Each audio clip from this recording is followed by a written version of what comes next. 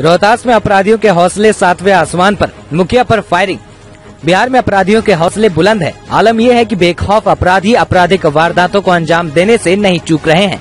ताज़ा मामला रोहतास ज़िले का है, जहाँ हथियार से लैस बेखौफ अपराधियों ने दहाउर पंचायत के मुखिया पर जानलेवा हमला कर दिया।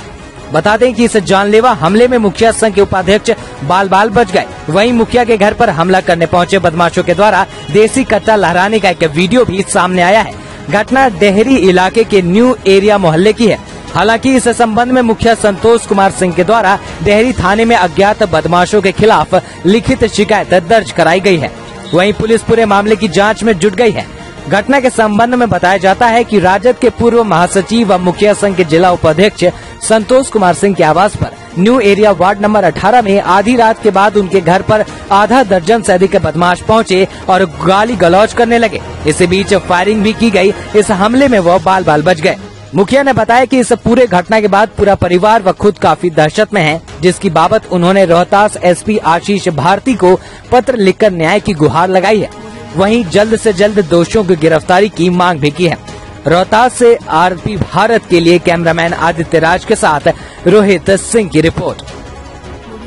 सब दारू पीकर आया, गाली गलौज कर रहा था तो हम बोले कि यहाँ क्यों हाला कर रहा है, जाओ तुम लोग घर है। गया उधर से फिर गाली गलौज कर कर हम जब आए बाहर तो हम पर कट्टा से फायर कर दिया। तो हम उसमें बाल बाल बच गए।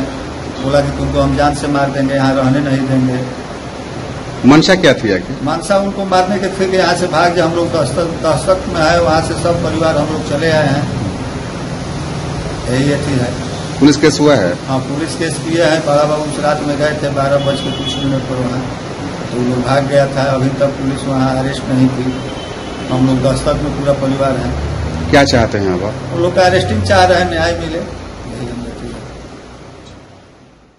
दमदार निर्माण का भरोसा लाल स्टील टीएमटी बार्स। हर निर्माण के लिए उपयोग लाल स्टील टीएमटी बार्स। रिश्ता मजबूती का।